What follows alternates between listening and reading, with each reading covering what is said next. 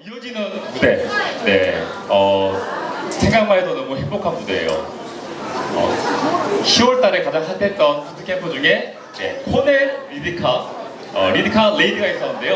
어, 12명의 리디카가 예, 나오셔서 네, 이 무대를 어, 빛내 주실 겁니다. 어, 이어지는 두 번째 무대, 나디아쌤이 리딩하는 리디카 레이디 부트캠프 뜨거운 박수로 모시겠습니다.